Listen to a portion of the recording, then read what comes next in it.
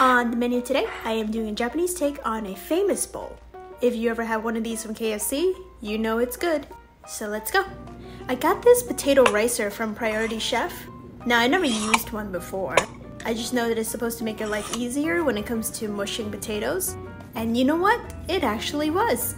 I put boiled potatoes in there, press it, and I can see why they call it a ricer now, because it really does look like rice.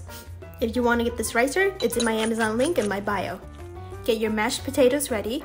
Put it in a casserole dish. I have my cute little Pyrex here. Add on corn. Now here's the twist. I am using spicy Japanese curry instead of your typical gravy. Add on the cheese. Top it with karaage, which is Japanese fried chicken. Garnish it with some scallions. And that's it. Look at that beautiful bite. Enjoy!